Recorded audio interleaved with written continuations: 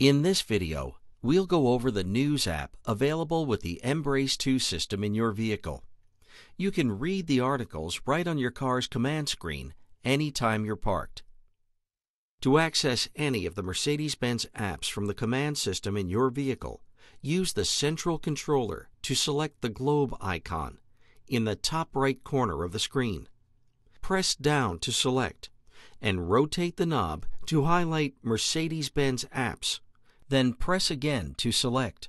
You'll see a message on the screen that your car is establishing a data connection. You might need to wait a moment while it connects. When the menu screen appears, scroll to News and press to select it.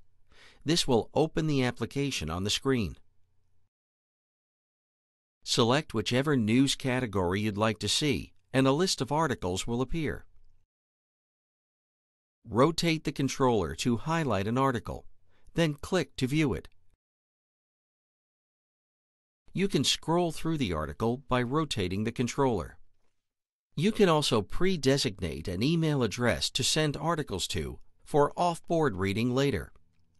While parked and inside the News app, slide the controller to the right to the email icon. Press down to select it. Scroll down to the Settings menu and select it.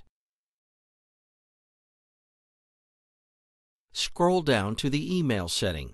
Press down to select it. Then follow the prompt to enter an email address of your choosing. Once entered, press OK to accept.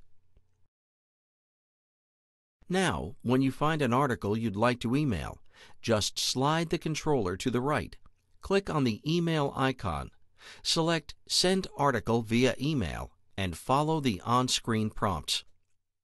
To go back to the list of articles, use the back icon at the top left of the screen.